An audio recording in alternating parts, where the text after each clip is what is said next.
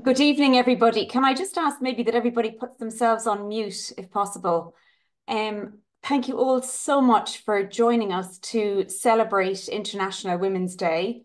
Um, this event and podcast are part of the Irish Nurses in the NHS Oral History project, which also includes a documentary film, which was um, premiered at the London, the Irish Embassy in London earlier this month. Um, as you probably know, this wonderful project is a collaboration with the London Irish Centre and it really just aims to explore the experiences and lives of the thousands of nurses who travelled from Ireland to train and work in Britain over the years. It's based on extensive research conducted by Professor Louise Ryan of London Metropolitan University and hosted by radio producer and former nurse Gráinne McPolin. And we're going to hear from Louise and Gráinne shortly. Um, my name is Mary Kerrigan. I'm a trustee of the London Irish Centre here in London, in Camden, and we are a charity based here since the 1950s with a mission to empower and enrich lives through Irish community and culture. And my involvement with the project came about because of my mother, who, like the many women that were featured in this project, actually travelled to London from Ireland in the 1950s to train as a nurse. So first this evening, we're going to hear from Louise and her research assistant, Neha Doshi. Uh, Louise and Neha are going to present the findings from the oral history interviews that they've conducted with over 45 Irish-born nurses who worked with the NHS over the years. We're then going to move to Gráinne, who is going to introduce the new audiogram. Um, and this latest episode, just launched today, actually considers um, really while Irish nurses were, as we know, a, a really important source of labour for the NHS and known for their, you know, huge contribution and, and very hard work in the NHS over the years, um, that actually they also kind of had a bit of an ambiguous position um, as Irish migrants and sometimes came under suspicion, particularly around the time of the Troubles. Um, we're then going to go on after Gráinne to hear, we're delighted to have Betty, a former nurse who features in the latest podcast with us this evening.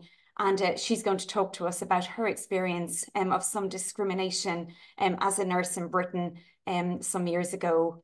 Um, so that's the agenda for this evening. Um, just a couple of items of housekeeping. Um, we will go straight through the presentations for the first, probably taking us up to close to eight o'clock. And then we're going to open for Q&A. So if you can be patient, please type any questions in the chat. Um, alternatively, when we get to the Q&A, put your hand up and we can turn to you to ask a question. Um, and we, you know, hopefully we'll have a good discussion at the end.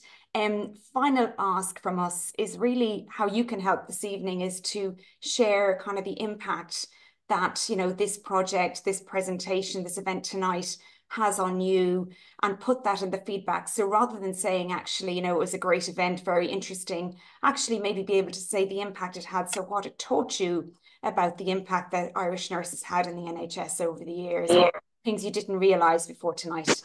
Um, so that's it. We're going to hand over now to Louise and Neha for their presentation. Thank you very much, Mary, and thanks to Tara and everybody at the London Irish Centre for hosting this event on International Women's Day. We're delighted to be here. I'm now going to share my screen and then Neha and I will present uh, together. Let me just share my screen. Can everybody see the screen? Yeah, okay, I'm getting some nods. Right, so I'll start the recording. So the title of our presentation is Irish Nurses Navigating British Society, Essential Carers and Unwanted Migrants. Oh, I just need to do the, uh, it's not, um, it's not playing ball, but oh, here we go. Okay, I need to tap it several times to move the slide. We've got some lovely photographs and we're very grateful to the nurses who have um, allowed us permission to use their photograph. This is a photograph uh, lent to us by Bernie. So following the establishment of the NHS in 1948 and given the very urgent need to rapidly expand the number of nurses, there was an active recruitment campaign for thousands of young Irish women and indeed men to come to Britain as trainee nurses. Advertisements were placed not just in the big national dailies, but also in small provincial newspapers throughout Ireland. And then recruitment officers from hospitals throughout Britain travelled to every city and town in Ireland interviewing potential student nurses. Now, at that time, in order to train in Ireland, it was very difficult because places were limited and it was extremely expensive. You had to pay to train. Whereas in Britain, you could train for free. In fact, you got paid while you trained, and you also had the opportunity for live in accommodation in the nurses' homes. So it's understandable that the lure of working in British hospitals proved very attractive. As a result of this widespread recruitment of nurses from Ireland, by the 1960s, around 11% of all nurses recruited to hospitals in the southeast of England had been born in the Irish Republic. And by 1971, there were an estimated 31,000 Irish born nurses in Britain. And they constituted 12% of all nursing staff, which is about one in every eight nurses at that time in Britain had been born in Ireland. So, really, an enormous proportion of nursing staff. So the aim of our research project, uh, it's a three-year project, and the aim is to relate the hitherto untold stories of Irish women and indeed some men who made up such a huge proportion of migrant nurses recruited to work in the early decades of the NHS. The project started in 2022. It's going to run until the end of this year and in fact probably into the beginning of 2025 and we'll tell the stories of nurses through the medium of photography, digital recording, a documentary film, and also the printed word. And we're currently writing a book. So at this point, I'll hand over to Neha. Hi, thank you, Louise. Um, so our project began in February 2022, and we started by interviewing women in London, 21 women. Um, we then managed to um, expand to the whole country and we interviewed people in Liverpool, followed by Wales, Huddersfield, Middlesbrough, and Manchester. Um, in January, we um, interviewed nurses in Luton, and in spring 2023, we managed to interview nurses in Scotland as well. Um, so altogether, we have 45 interviews. Um, Louise, thank you. Um, just to mention that we have ethical approval from the Oral History Society um, and also that we will be using throughout this presentation pseudonyms. So we won't be using the real name of participants in order to um, keep their keep them anonymous. Um, our participants range in age significantly. So our youngest is in their 60s and our oldest is aged 92 years old. Um, we have one participant who arrived in um, England in 1948 at the start of the NHS, um, but the majority of our participants um, moved or arrived in England and um, not just England, sorry, the whole of Britain um, in the 1950s and 60s. Most are now retired, some are working part time. Um, and so our participants spent seven, sorry, seven decades of the NHS. Um, we are also taking a whole Ireland approach, which means that we are we have participants from the Republic as well as Northern Ireland, and we have participants from all um, all counties of Ireland actually. So from Tyrone down as far south as Cork and Kerry as well. So, what many of our participants noted actually was the importance of Irish nurses in terms of their contribution to the NHS. So, Anita mentions, I think they were the backbone of the NHS. Um, and Ruth says the Irish propped up the NHS. Fidelma also um, mentions the contribution as well as the commitment that Irish nurses had. And she says, without the Irish nurses and without their total contribution and their commitment, I think the health service would be in a really bad place. Not only the Irish, but migrants in general were noted and have been noted since the start of the NHS as being crucial to um, the service that the NHS provides. So Nessa, who arrived in Leeds in 1957, um, mentions that there wouldn't have been between the Irish and the Jamaicans, there would have been no national health service if it wasn't for them. Well, we stuck together. There was no difference in color because, as you say, sorry, I can't see the bottom of the screen. Um, but you, yeah, I think it's okay. been off on mine.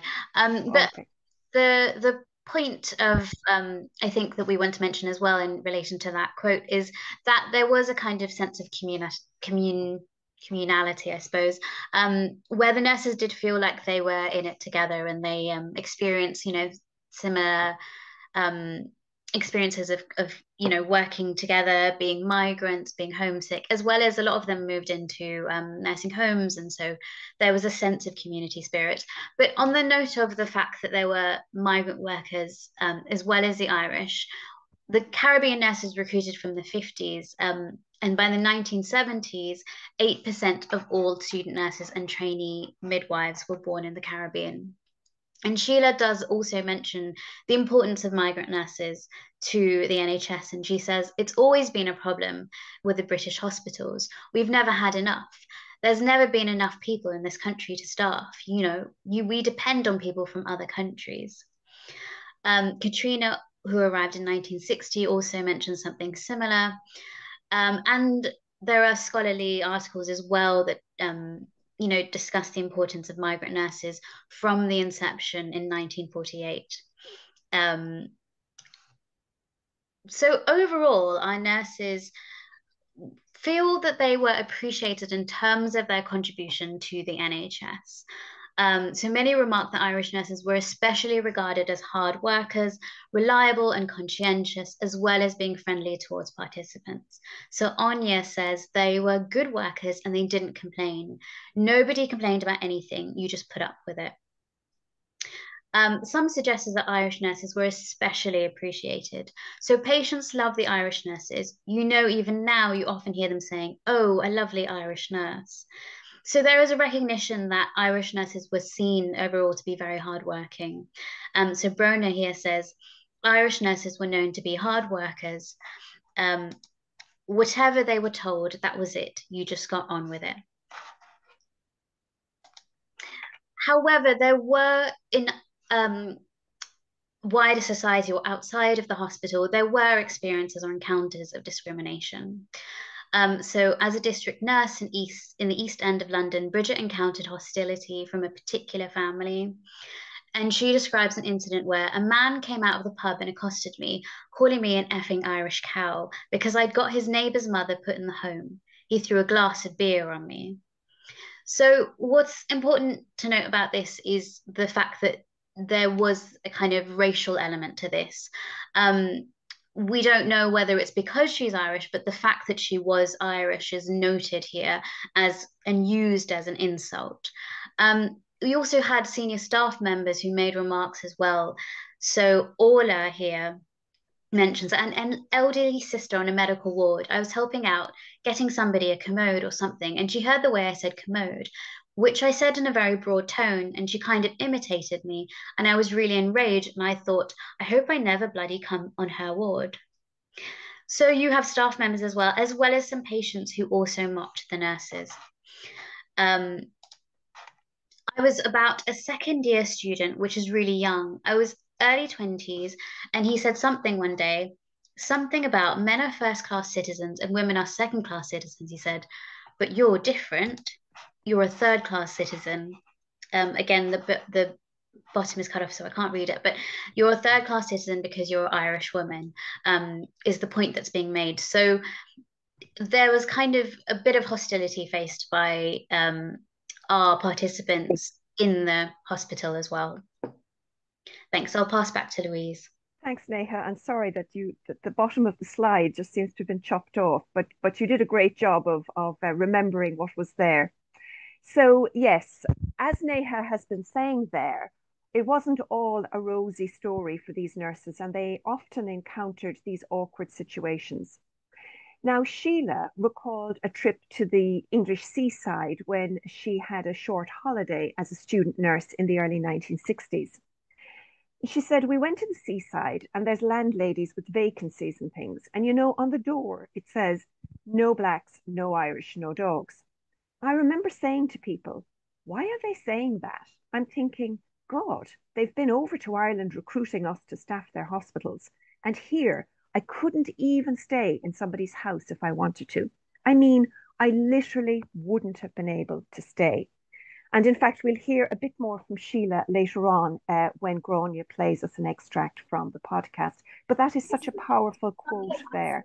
Um, sorry, I, th- I think I need somebody to go on mute. I'm getting some feedback. Thanks. Uh, so that's a very powerful quote, and that was not the only isolated incident. So, in response to seeing um, these no Irish signs, Maeve, who also came across one of the signs, said, I thought, whoa, so people are noticing the blacks, the dogs, and the Irish, three persona non grata. You oh, feel okay. that you are you feel that you are down on a dog level. When you think about it, I mean, it's not that long ago, 1975. I suppose the thing about it is, looking back, there was probably a fear that if I did go in and they turned on me, would I be able to defend myself? And we'll hear a bit more about that particular experience um, later on in the podcast. Now, Dervla arrived in London in the mid 1960s, and she also described seeing these infamous no Irish signs. She said, when we used to go up to London to the markets and things and the shows, I started realizing that in Paddington, there were a lot of signs on the windows of lodging houses saying, no gypsies, no blacks, no Irish, and no dogs. It was an eye opener, really, a shock to the system. Now, I should just say that we didn't ask anybody explicitly if they saw these signs. These were moments that they shared with us in the course of the interview. But I think it's very important that we've collected these stories because we're talking to living witnesses who remember seeing these um, signs on doors and windows in the 50s, 60s, and even into the 70s. Now, the situation for our nurses became more acute during the IRA bombing campaigns, which of course lasted for over 30 years. So, this was an extended period, really, from the early 1970s through to the 1990s. And several nurses recounted how specific anti Irish sentiments around the time of the IRA bombing and how that impacted on them. For example, in Liverpool, one of our male participants, Joseph, who was a psychiatric nurse, he had moved to Britain in the 1950s and he recalled one incident. This woman on a ward I was working, she made out that I was to blame for it. She made remarks about the situation, the IRA bombings, and all that, you know.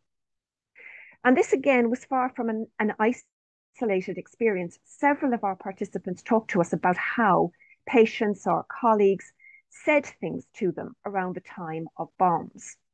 In London, for example, Fionnuala observed that remarks about bombs in your bag were often presented as jokes or banter.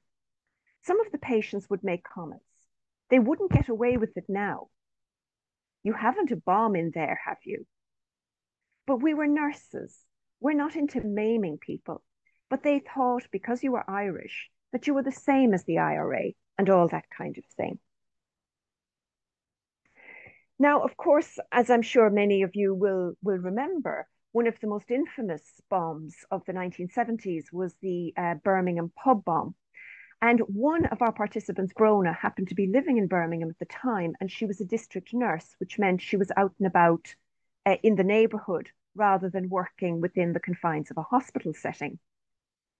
And she talked a lot about her experiences of being Irish in Birmingham in the 1970s.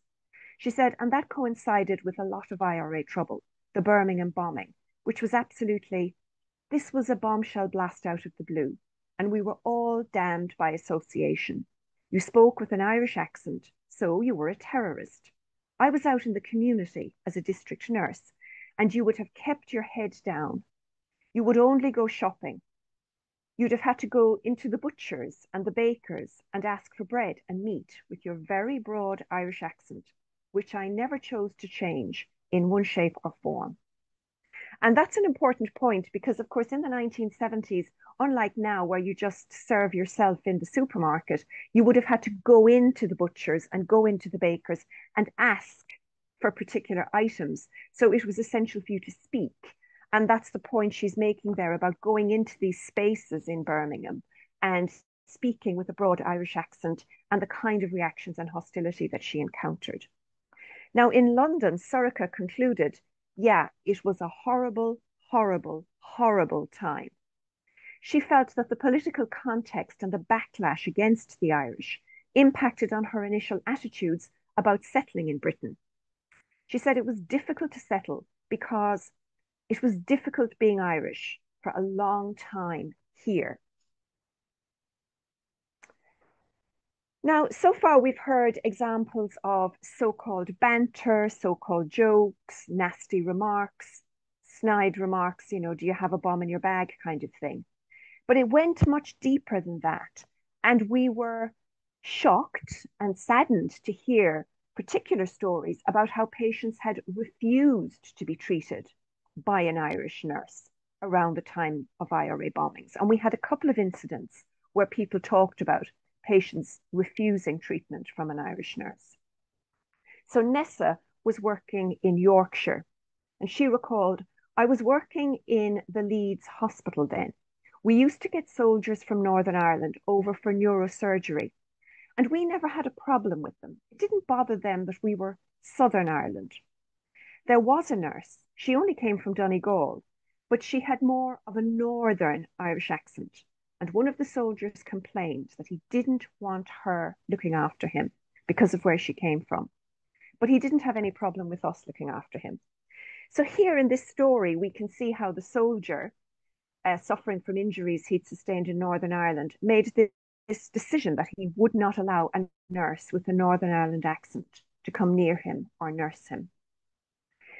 A similar experience was reported by Fionnuala, who was a district nurse working in London. And she talked about a particular incident which occurred to her after the Harrods bomb in London. She said, I worked on the district. It was the Harrods bombing. So I went in to put this man to bed. I'd been going in there like for about four years and I went in and he said, That was a nice job you did today. He said, I don't want you. I don't want you near me. You're dangerous. I think one of the, the most powerful things about this story is that she had been looking after that man for four years. And yet, suddenly, in that moment following the Harrods bombing, he just took against her. Her Irishness became the most significant thing about her, and he refused to have her treat him anymore. So we've presented some very hard hitting experiences uh, this evening, but we feel that these are very important stories that need to be told, shared, and recorded for posterity. The examples we've presented here, which will be further expanded and elaborated in the forthcoming book, they really illustrate the point that has been noted by the researcher Bronwen Walter. And she has argued how Irish people have occupied an ambiguous position in British society as much needed workers, but also as undesirable migrants, and indeed as potential terrorists. We've discussed some of these painful experiences of how our participants navigated these ambiguous positions. As we said, they were actively recruited from Ireland recruitment officers went from British hospitals to actively encourage these Irish young men and women to come to Britain to work. Yet, despite their professionalism as healthcare providers, they were undermined, criticised, and suspected, damned by association with the IRA. Moreover, it was also clear that the NHS provided no training or support for Irish staff who were being attacked, insulted or humiliated by patients, especially during those very difficult period um, around the time of the bombing. The nurses were just expected to get on with it. Now, in many ways, our participants said that they had tried to forget about these experiences. But we are very grateful that they chose to share those stories with us. Sometimes they told us that they'd kind of almost forgotten about those incidents and they hadn't really spoken about those experiences very much. But we are very grateful that they chose to share them with us because we do think it's vital that that harder story of Irish people in Britain is told and is recorded and is better understood. I'll hand back to Neha now, who's going to just wrap up with some of our um, next steps and thanks. Thank you. Yes. So just to mention that um, these are all our outputs to date. Um, we had a photographic exhibition at the London Irish Centre as well. Um, we had, as uh, Mary mentioned, a documentary film that was premiered at the Irish Embassy, um, an archive of interviews, a series of podcasts, um, which Gráinne is going to present you a sample of today, and hope and we are hoping to get our book out in 2025 on, if I'm correct, St. Bridget's Day. Um, yes. Yes, so those are all of our outputs. And we'd like to thank these organisations um, for funding our project, um, especially the London Irish Centre who was hosting us today. Um, as well as we'd like to thank um, our recruiters, um, who you can see here on our slide. So that's the end of our presentation, and we are now going to go seamlessly over to Gráinne, who's going to talk to you about the podcast. And as Mary mentioned at the beginning, please hold your questions and you can type them in the chat uh, later on, and we will have time for Q&A. Over to you, Gráinne. Thank you, Louise, and thank you, Neha. And I also would like to uh, thank you, Mary and uh, Tar, for organising this and for um, Betty for, for appearing today for, on, on our behalf. Um, we're delighted uh, to be able to um, showcase the wonderful work that the Irish nurses have done in helping to build the NHS and really eh, they were absolutely marvelous um, and they ought to be applauded. Um, we're doing um, a series of podcasts. It's a limited series of podcasts, 13 podcasts. And we launched them last July the 5th, which was the 75th anniversary of the founding of the NHS in Britain. And it was it was it was a very exciting time for us all, really, and because it was real, you know, it was really happening. The nurses were being heard finally, and we we're absolutely thrilled to bits about it. So we've been releasing one podcast every four to six weeks, and we will be continuing to do that right up until the release and the launch of our book.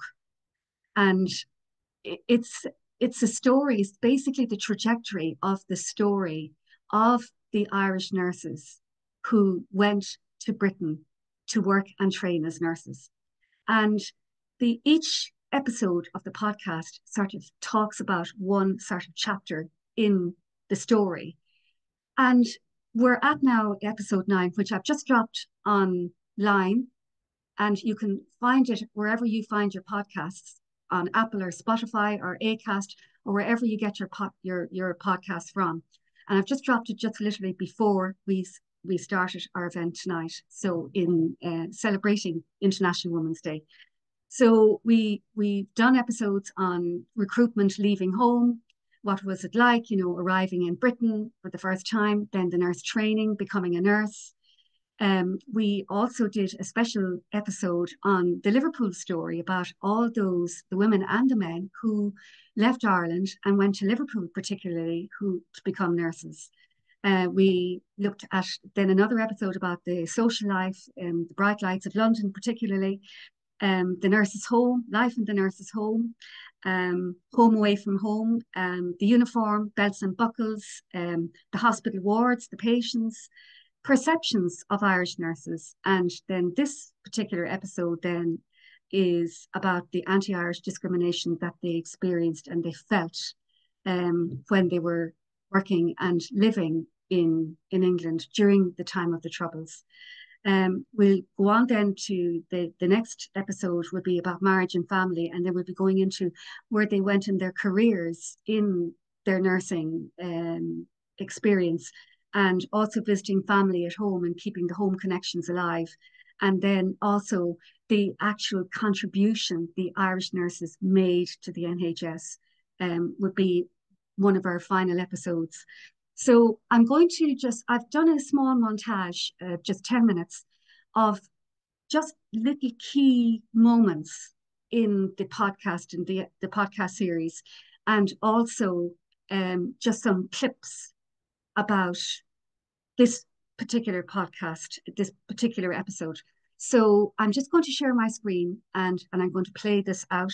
Um, so I hope you enjoy it. And um, okay, so here goes.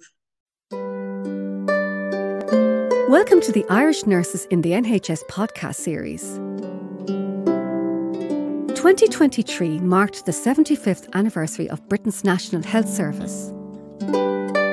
Since its inception in 1948, there was a huge demand for nurses as the new health service was being rolled out across the country, particularly during the 1950s.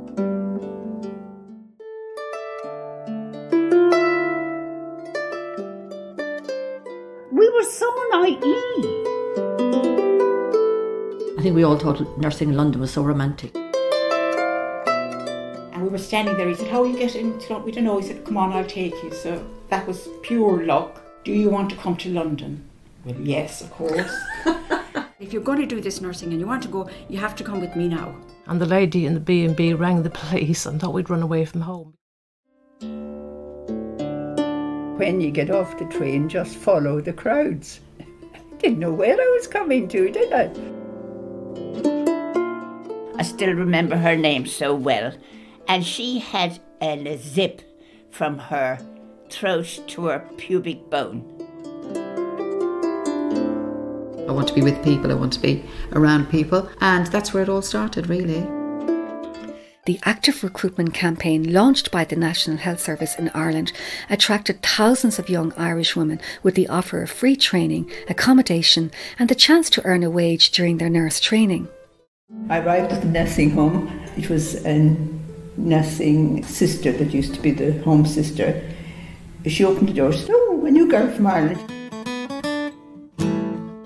And there was accommodation, obviously included, and it seemed quite a safe place to go to.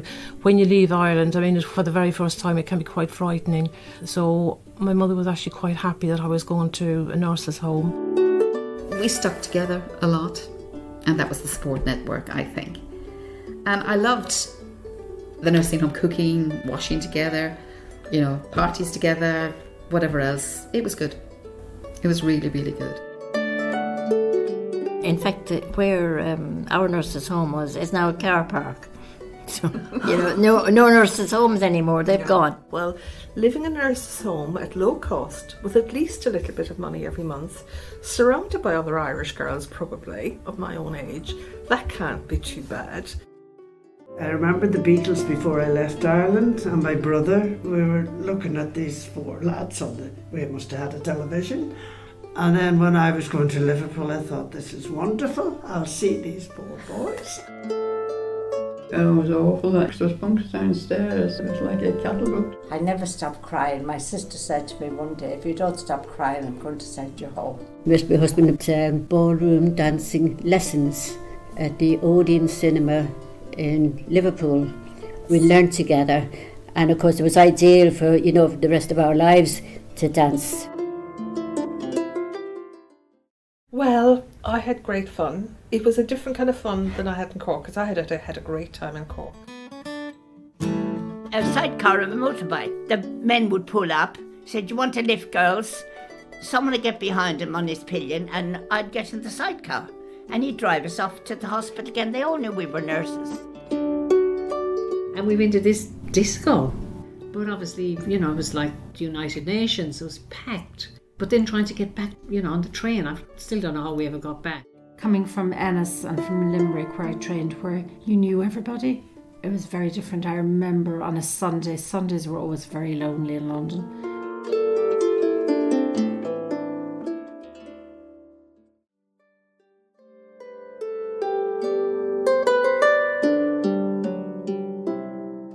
I see somebody not well, I have to go and ask them, which is none of my business, but I do go because there's something in you as a nurse that never leaves you. And I always remember the first day I put a uniform on us, and one of the, the I don't know, the tutors said, you know, remember, said, you got a uniform on you now. He said, you have to be pretty confident. Inside, I'll never forget my. If you had one spot on your apron, you had to go to the nurse's home, change it straight away. I was horrified the way they were dressed baggy trousers and tops, and you wouldn't know who was who. Um, I'm glad they got rid of the hats. They were a bit of a pain. Dreadful, awful. Really, I hated it.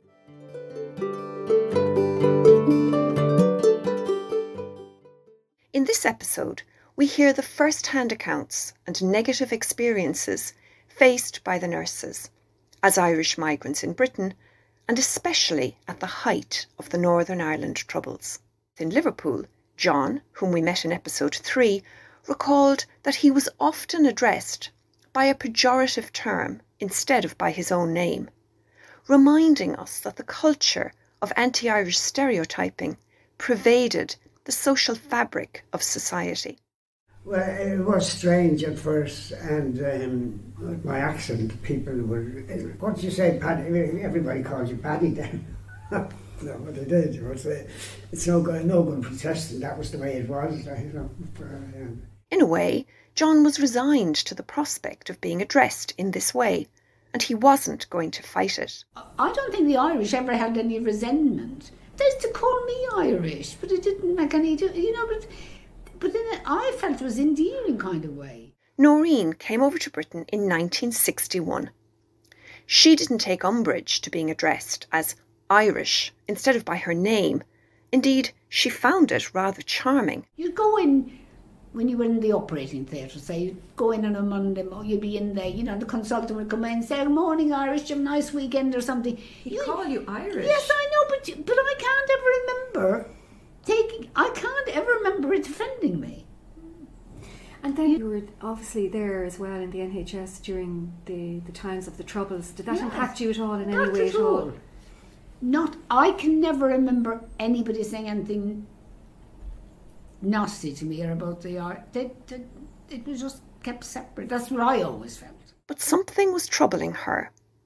Taking a deep breath, Noreen recalls how she stumbled across a sign on a bed and breakfast during a trip to the English seaside. An encounter that she'd felt somewhat unsure about sharing with us. Okay, I'm going to say this, and my, my family said to me, Oh, don't repeat that, Mum.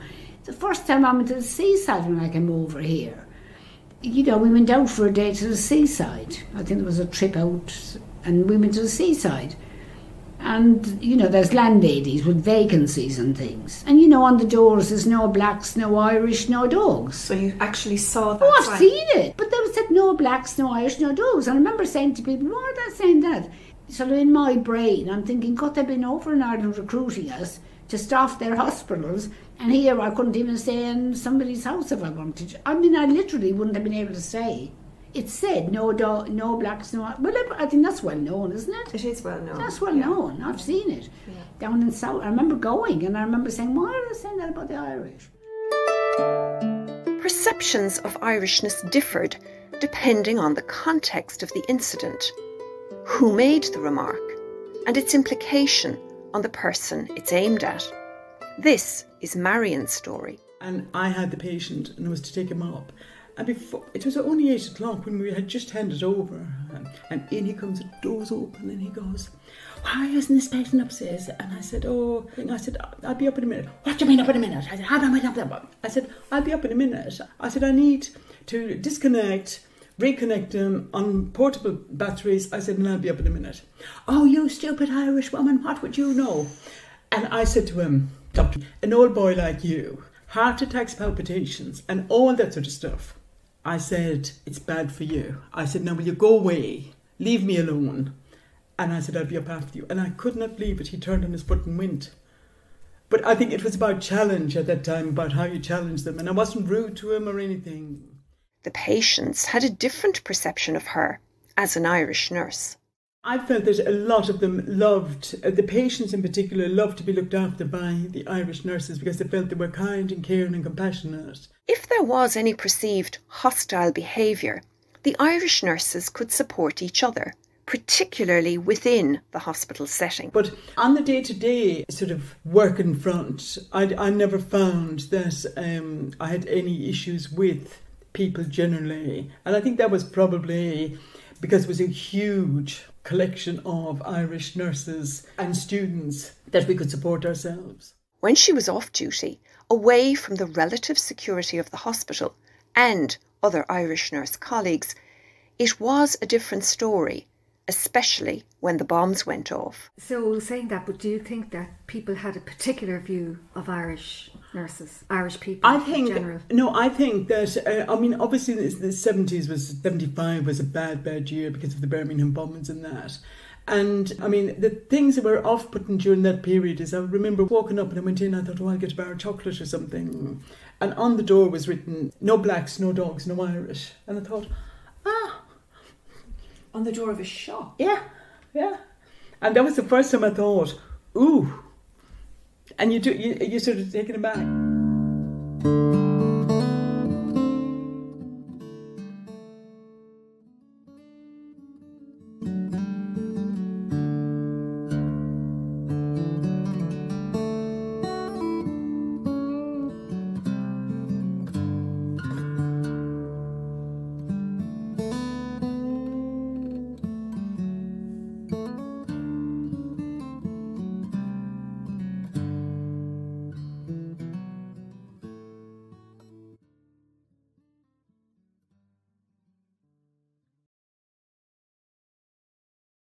Good. Great. So, everybody, this is Betty, who was one of the participants in our project, and we're delighted that she's come along this evening to share her experiences with us. And, Betty, there was a particular incident that you talked about, which was, again, like some of the other nurses in the PowerPoint presentation, particularly associated with an IRA bomb. Would, would you like to tell us about what you experienced as a nurse at that time? Um, yes, hello everybody.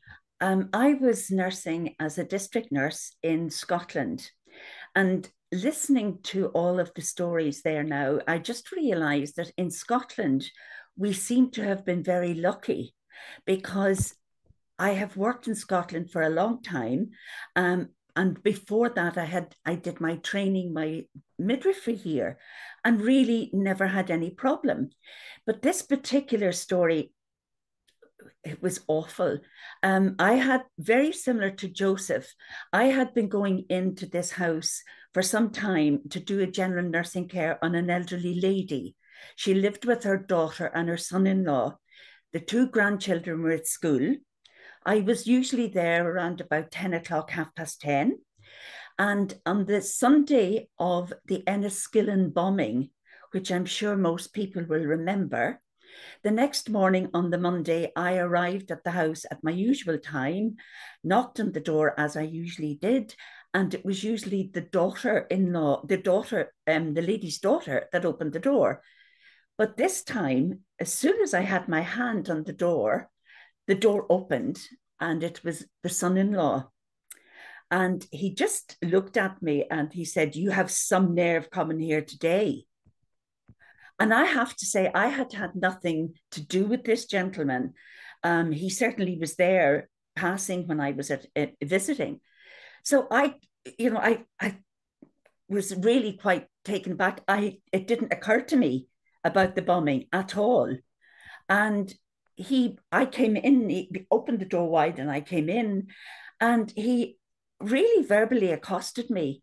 I had some nerve, and who did I think I was? and um, look at the damage I did and we did. And it was suddenly then that I realized it was because of my accent. He had never came, he'd never spoken to me before. The daughter and the mother that I was dealing with, the mother actually came from Northern Ireland, from the same town as I was living in at that time. So I I didn't know what to do, but anyhow, I kind of got my nerve back and I said, Look, I'm really sorry. I can't do anything about it. I've nothing to do with it, but I really do need to see your mother in law. And eventually he murmured and moved away, but his wife was in tears. She was very badly affected. So, anyhow, we went up the stairs. The mother in law had heard all the commotion going on and had heard what was said. She was apologetic. So I had to say to them, look, we've got to get over this. Let's get on with this. And we I fixed the lady up, gave the daughter a hug, and just said, look, it's all right, honestly. So I came out, and you know yourselves, we all have two faces. So I had my work face on when I was in the house. But when I got into the car, I was shaking. And I honestly didn't know what to do. I had several other patients to go and see. So I did that. I went ahead and did them because you're on a time scale in the community.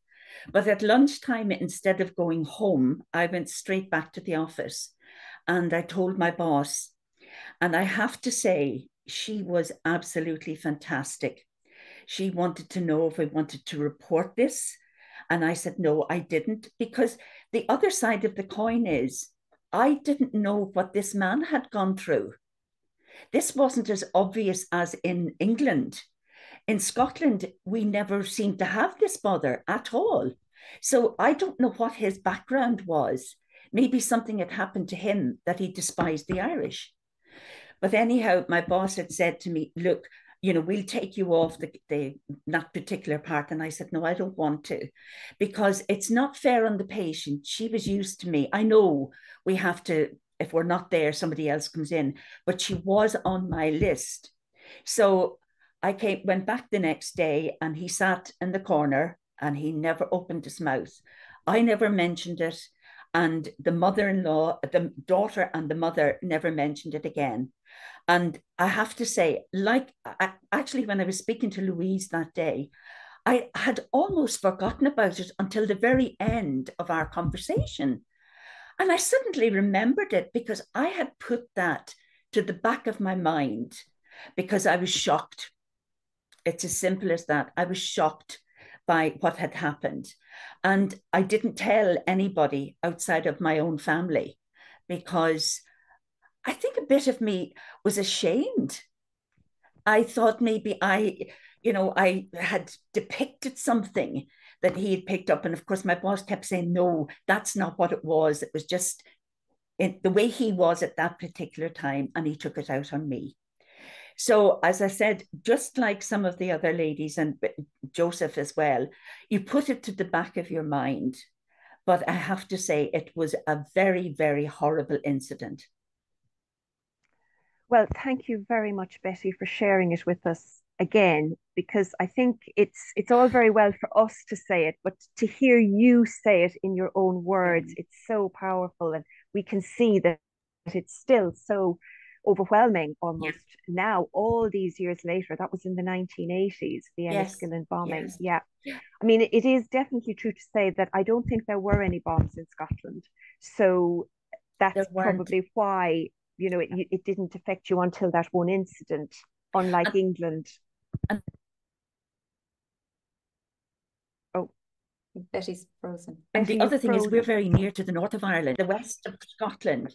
There were people from Donegal, an awful lot of people from Donegal and from the six counties that came here to do their. I came here to do my midwifery. I was one of hundreds of nurses that came to do their midwifery. Scotland was well renowned as a great place to do your midwifery. So that was how I came. I met my husband here. We went back to Ireland, but then we moved back to Scotland permanently. And there were a lot of us, but because I think it was, there were so many here, we had no, there, thankfully, there were no big, as you say, incidences with bombs or thankfully anything like that. And I think that's where we were saved from. Yeah. Well, thank you very much, Betty. And and I think as you absolutely said there, people did push these incidents to the back of their minds because yeah. when we were doing many of the interviews, people would often say, Oh no, I never had any bad experiences. No, nothing like that ever happened to me. And then later on in the interview, they'd say, "Oh, oh yes, but that that incident did occur." And in fact, I'm I'm not speaking about you here, but another lady that we interviewed had said, "No, nothing bad ever yeah. happened to me." And then she proceeded to tell us one of those incidents where somebody had refused to be treated by her because she was Irish. So it is maybe a coping strategy that that people I think push so. them to the back of their mind. Yeah, yeah, definitely. So yes, yes, I, I'm just wondering. Um, is the podcast um how are we getting on tara yes i can give it a go here give me one moment okay it was lovely so betty thank you very much for that and and that we got you to speak earlier than you had anticipated, but it, that was wonderful. And we'll come back. Maybe there'll be Q and A later on, and we'll come back to you again. Thank you. Thank you very much. So Tara, over